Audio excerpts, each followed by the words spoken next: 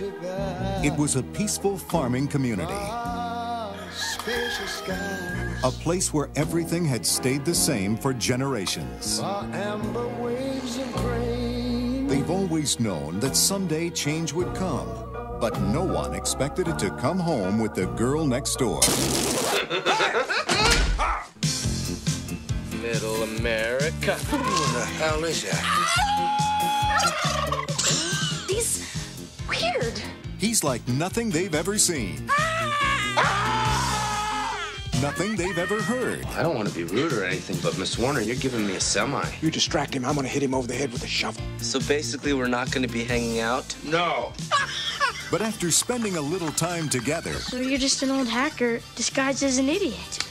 Why don't you, um, put a little makeup on him? the great American family You don't like it, do you? Uh, no, I think I do. will never be the same again. Let's chow down here and munch some grindage!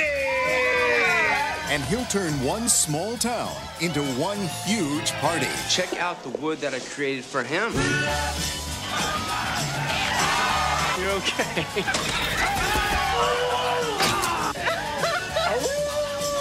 Beautiful day. Feel the breeze and let it fly. Oh yeah, 747. The son in law. What do you think their kids are gonna look like?